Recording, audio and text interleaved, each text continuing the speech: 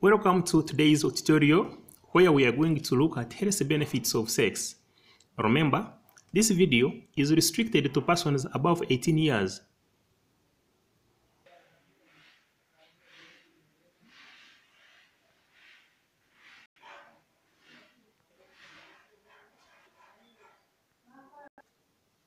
So, when we look at health benefits of sex, we need to first remember or know stages and then importances.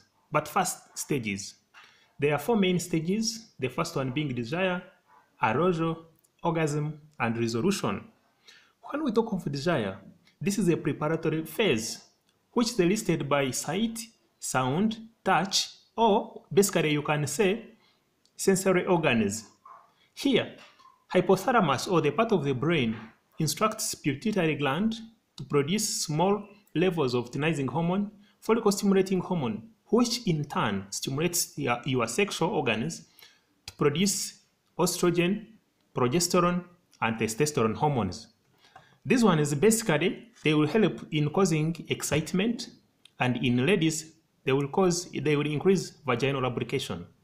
Then we go to phase two, arousal, or what I can call action. We are here. So here, the part of the brain, hypothalamus, instructs release of neurotransmitters. That is dopamine, noradrenaline, and, and others, which increase blood flow to your sexual organs.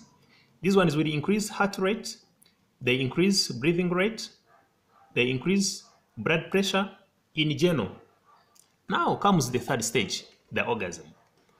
Here, there is production of oxytocin and prolactin.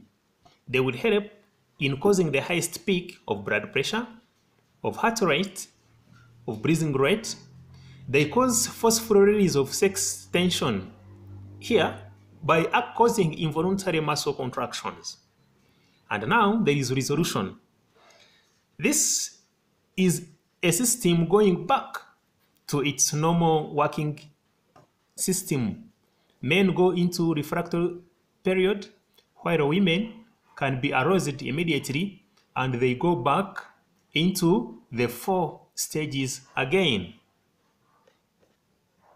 So, having looked at benefits, stages of sex, we can now look at the importance of sex. One, it is a form of physical exercise. Two, it lowers blood pressure. Three, it improves immune system. Four, it decreases depression or anxiety. Five, it is a pain relief. Six, it improves sleep. Seven, it reduces risk of prostate cancer in men. Eight, it reduces risk of heart diseases. Nine, it boosts, boosts your sexual activity. 10. It improves bladder control in women. This is achieved by interaction of neurotransmitters and hormones as we earlier saw in the stages of sex.